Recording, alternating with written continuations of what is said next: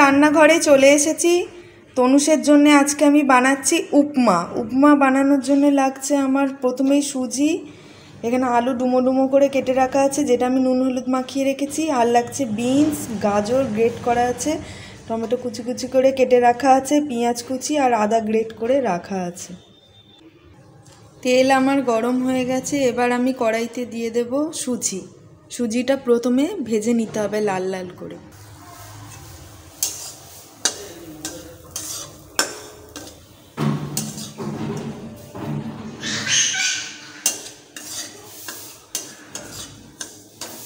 এইভাবে সুজিটাকে ভেজে নিতে হবে প্রথমে, লাল লাল করে ভেজে তুলে নিতে হবে।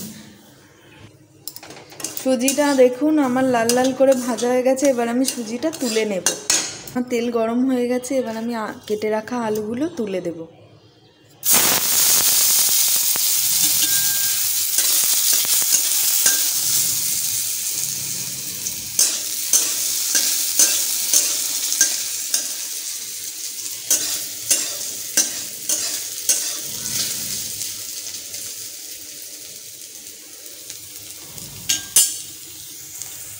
আমার আলু এখানে ভাজা ভাজা করা হয়ে গেছে, এবার আমি আলুগুলো তুলে নেব।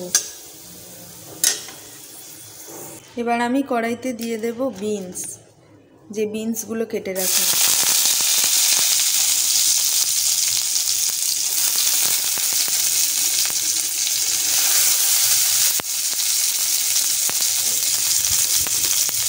অল্প পরিমাণে একটু নুন আর হলুদ গুঁড়ো দিয়ে দেবো বিনসে।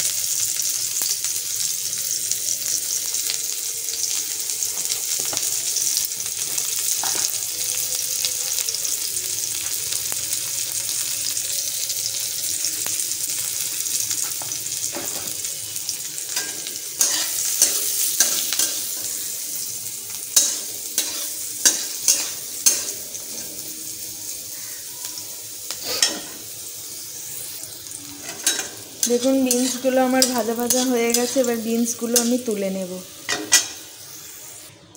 এবার আমি কেটে রাখা পেঁয়াজগুলো ভেজে নেব।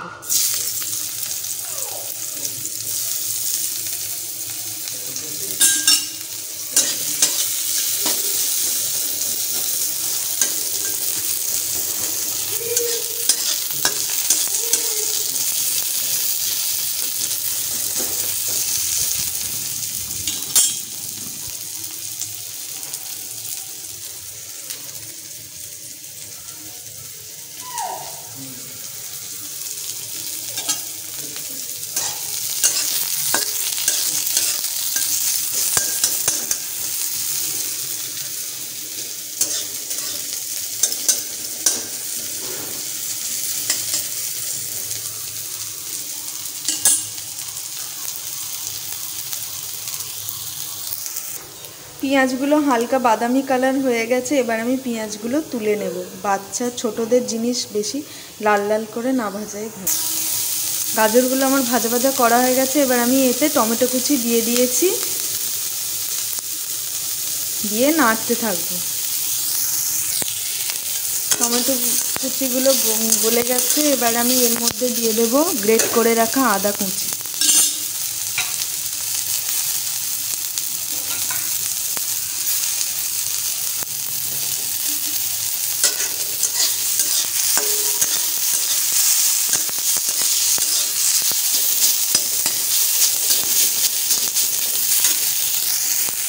পুরি হয়ে গেছে এবার আমি এর মধ্যে সমস্ত ভেজে রাখা সবজিগুলো দিয়ে দেব। আর এর মধ্যে ভেজে রাখা সুজিটাও দিয়ে দেব।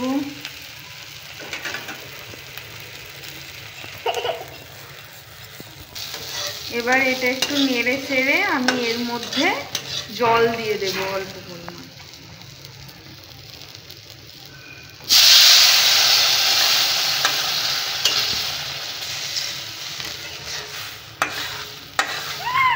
আমি জলের পরিমাণ একটু বেশিই দিলাম, কারণ সুজিটা সিদ্ধ হয়ে যাবার পরে জল টেনে নেবে, তাই জন্য এবার আমি এর মধ্যে পরিমাণ মতো অল্প করে নুন দেব, কারণ এর আগে নুন দেওয়া ছিল, এখন অল্প করে নুন দিয়ে দেব। একটু মিষ্টি মিষ্টি লাগার জন্য আমি এর মধ্যে জায়গিরি অ্যাড করি। আপনাদের এর আগের দিনেই বলেছিলাম, বাচ্চাদের খাবারে মিষ্টি দেওয়ার থেকে জায়গা দেওয়া সুজির উপমা আমার রেডি হয়ে গেছে, দেখুন। আমি একটা ছোট্ট প্লেটে সার্ভ করেছি যাতে আমার ছেলের খেতে সুবিধা হয় সেই জন্য।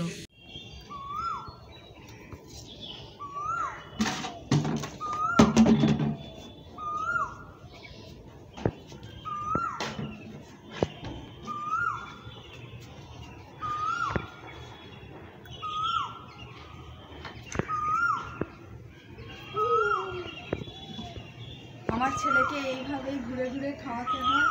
যদি এই রেসিপিটি আপনাদের সবার ভালো লেগে থাকে, তাহলে লাইক শেয়ার অ্যান্ড সাবস্ক্রাইব অবশ্যই সবাই করবেন।